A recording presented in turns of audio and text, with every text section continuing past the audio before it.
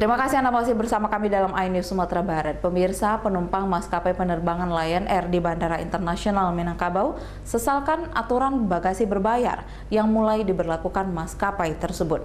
Pasalnya, kebanyakan dari para penumpang tidak mengetahui adanya aturan terbaru.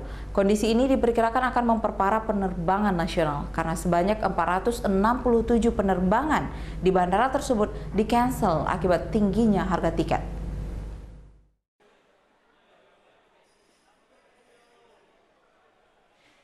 Sebagian para penumpang pesawat maskapai Lion Air di Bandara Internasional Minangkabau Padang Pariaman kecewa kurangnya sosialisasi pemberlakuan bagasi berbayar di maskapai tersebut.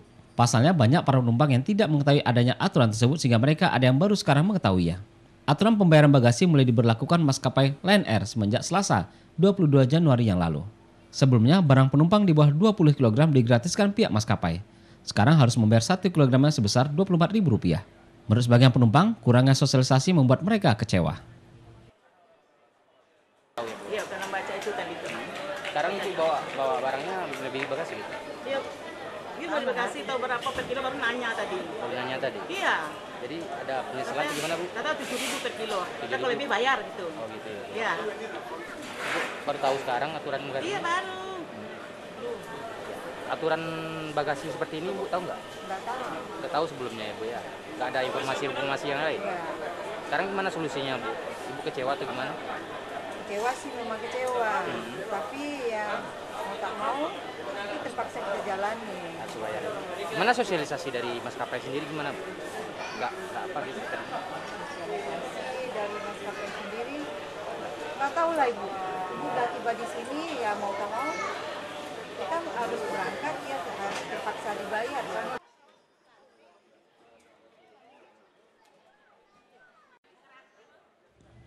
Dengan diberlakukannya bagasi berbayar akan memperparah kondisi penerbangan nasional. Pasalnya, menurut berdasarkan laporan Eksekutif General Manager PT Angkasa Pura II Cabang BIM, Dwi Ananda Wicaksana, semenjak diberlakukannya tarif resmi pada batas atas atau tinggi dari tanggal 1 hingga 21 Januari 2019 sebanyak 467 penerbangan di Bandara Internasional Minangkabau itu di-cancel.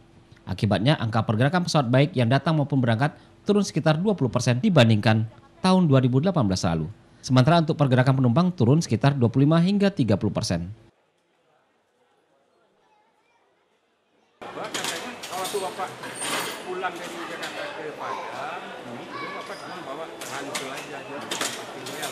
kan ya.